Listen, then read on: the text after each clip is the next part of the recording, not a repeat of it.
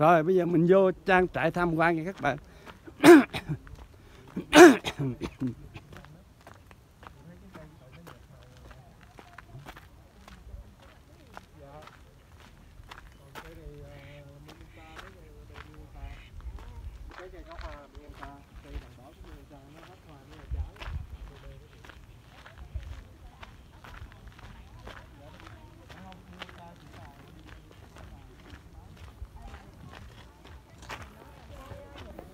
Rồi, mình vô ta ấy mùi nữa rồi mà.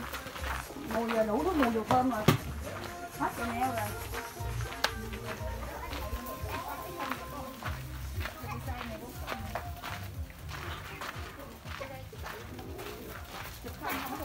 Kệ cho nó